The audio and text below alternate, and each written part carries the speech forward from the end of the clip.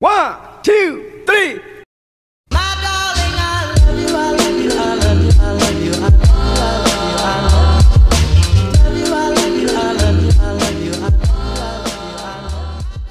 Isang pinagpalang araw mga ka-healthy. Welcome sa aking channel, ka-healthy. Please like, share, and subscribe po ng aking channel. Ngayon po ay gagawa tayo ng isang simpleng juice na talaga namang magugustuhan ng buong pamilya. Simpleng-simple lang po ang kailangan natin. Katulad po namin, may puno kami ng kamyas. Ito po ang ating gagawin, ang kamyas juice. Ang pangunahin pong lahok dito ay siyempre ang kamyas na sariwang-sariwa.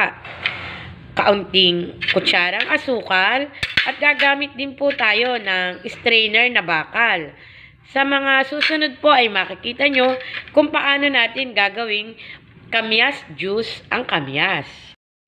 Ito po mga ka-healthy ang puno ng kamyas na kung saan ay kinuha ko ang gagawin nating kamyas juice.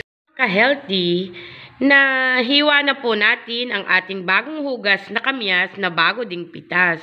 Sariwang sariwa po ang kamyas na ito at ilalagay na po natin sa strainer at pagkatapos ay ating imamash o pipigain para makuha natin ang natural juice na galing dito.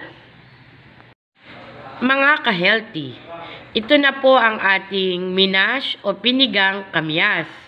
At ito po ang nakuha nating purong ah, juice ng kamyas. Ngayon po ay lalagyan natin siya ng kaunting asukal para lang po mawala ang kaunting asim niya. Mas maganda po ay maasim para po talagang lasang-lasa natin ang lasa ng kamyas. At alam niyo po ba ang benepisyo na binibigay ng kamyas sa ating katawan? Kung ikaw ay may ubo o sipon, ito ay gamot. At lalo na sa mga high blood o may hypertension, nakakapagpababa po ito ng dugo. Mga ka-healthy, ito na po ang ating finished product ng kamyas juice. Halina't samahan niyo akong uminom ng masustansyang kamyas juice. Iwas gastos, pero malaking tulong sa ating mga pangangatawan. One, two, three.